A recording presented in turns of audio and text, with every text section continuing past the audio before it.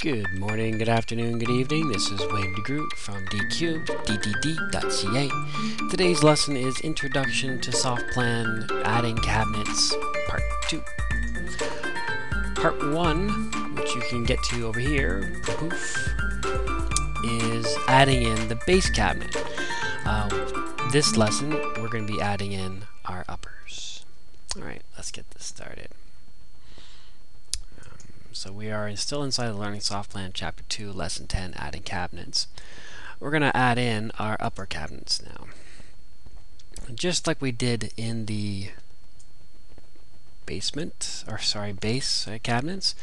We're going to change from uh, standard, but we're going to, there's the blind corner right there. Uh, but we're going to do the diagonal corner. Diagonal corner obviously is the ones that um, the most of the general public chooses because it has a little more space and storage up there. Plus they can actually have a glass cabinet on this end. So we're going to choose the 24 inch. That's what I like choosing because it sort of fits within the depth of the cabinetry and sort of lines up everything. So always, like I said before, always start in the corners. Clicking on here, and I'm going to go down. Let's zoom in a little bit. And using the roller mouse button, zooming in, and then rolling mouse button holding down, and you can start panning over. Now there's the window and there's the corner and I have no idea how much distance is in between those two so we're going to hit B as in between and click on the cabinet and I'm going to make sure I'm not clicking on anything else just clicking on that line there because I want to know how far it is from the actual window to the corner unit. It says it's two foot one and a half. So I'm going to put in two foot one take away four inches for the trim of the window oh, let's say 21 inches. So I'm going to click on our wall cabinet. And I can slip that in there so everyone can see it. Um, up, up, up. There's our 21. And 21 is actually, like I said before, is uh, the largest door you should have. I wouldn't go any larger just because, um, well, like cabinet people will probably tell you not to do that either. So it is the upper. I think I like going with the glass grilled look. I think I'm going to do the glass grill here on the corner and down here for a little bit of symmetry going on. So I have the 21 inch wide. The depth is still 12 inches. Uh, the height is 30 inches. The offset is 54 and the uh, height of the cabinet is 84 still. So I'm not going to uh, change anything in here just yet. I'll show you what all these numbers mean in a minute. Um, now we're going to do our symmetry. As you can see, I'm sort of guessing where it's going to go, and it should snap into place. If I wanted to, I hit Control E on the cabinetry, and it will actually show me the uh, designations, the names. Control C will clean that back up again. Alright, let's keep on going downwards and I have no idea how bitch how much is between uh, from here to, to the oven so hit B on the keyboard oh I missed I'm not sure how but I did it so let's try it again let's not make SoftPlan guess so clicking on there and clicking on the cabinet itself oh I missed I went right to the oven two foot one now that tells me that the cabinet dimension is probably 2 foot. So let's verify that just to make sure. Click on, let's zoom in. Clicking on the cabinet, clicking on the cabinet, and that is definitely 2 foot 1. So I'm going to click on my cabinet icon, uppers, and I'm going to choose my standard, which is right, the 24. Two door is good. Make sure everyone sees that. Got my two door, because I want to have a solid cabinet beside the oven. Clicking on the back wall, clicking on there. Now what's probably going to happen is that I actually have an oven in here which is going to be 30 inches. I know that for sure. I could edit this. Um, but it will be 36, or sorry, uh, 30 inches. Now, unfortunately, some codes actually say you have to have one inch in between the range and the cabinetry. So, we have a choice to do a custom cabinet. Not everyone likes doing that. especially because of the cost. So what you could do is you can add in a filler, a one inch filler. So we're going to do that now. So I'm going to type in one inch. And of course the cabinet face sort of went away because it's now waiting for us to put in. So there's our cabinet filler.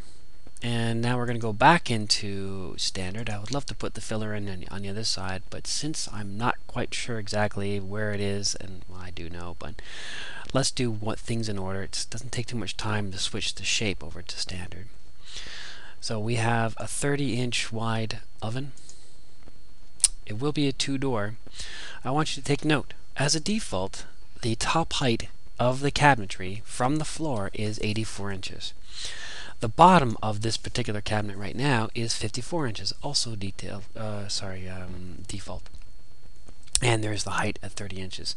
Most heights of uppers are range from 30 inches um, down to 39, but over the refrigerators and the ovens, they're normally a little higher, so you can actually have some storage above your range. That's of course you do have that option, typically anyway. So you have um, the height we're going to change to 18 inches. Click on the arrow, 18 inches. Now what that's going to do when I hit enter, it's going to say that our top height is now down to 72. Why it's doing that is that the 54 inches remains at the bottom of the cabinetry. So it's actually trying to line up all the cabinets. So what you want to do is you want to click on the top height and force that back up to 84. That makes the offset of the um, of the bottom of the cabinet a little higher. So now we're actually we're ready to go.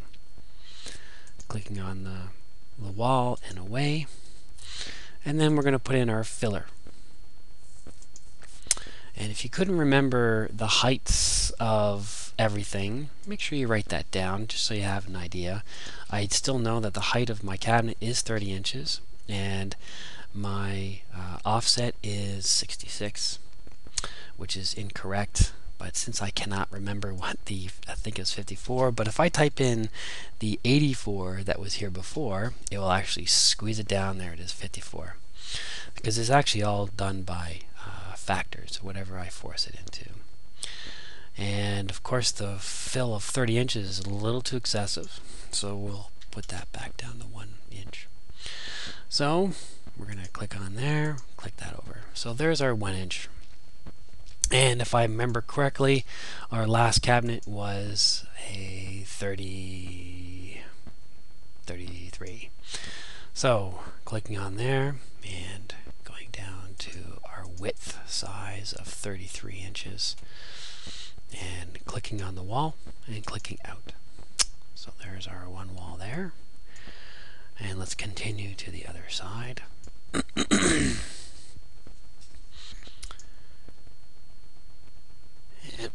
we're going to do the blind corner. Do the 24 inches there. Um, I don't know what that size is, but hey, I, I might as well guess.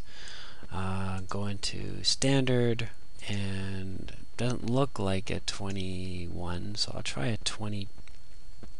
Oh, sorry, an 18.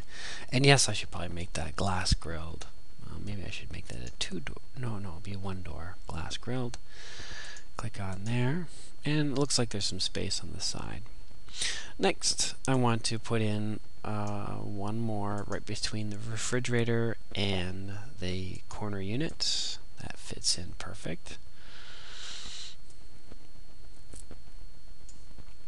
Alright, and our last one we want to put hmm, I have a feeling we should probably break up this because our 10 minutes are almost up. So, cue theme. If you have any questions on how to do anything inside of SoftPlan, please email me at softplantv.ca. Sorry, softplantv at ddd.ca.